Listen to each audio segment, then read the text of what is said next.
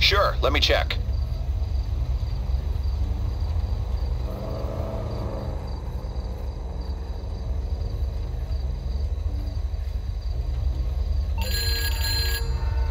Okay, sure. I have something here. So, it's no secret this town has its fair share of crazy.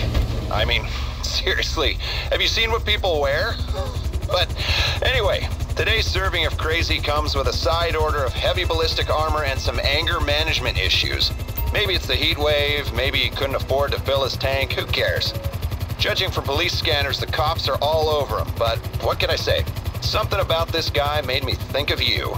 If you take him down and scavenge some of his suit, it'd give your guys back in the lab a major research boost.